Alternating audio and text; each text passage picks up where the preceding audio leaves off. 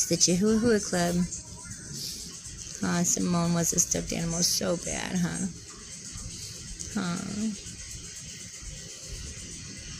And Ginger, she's watching TV. She'll watch my videos on my phone and stuff too. huh.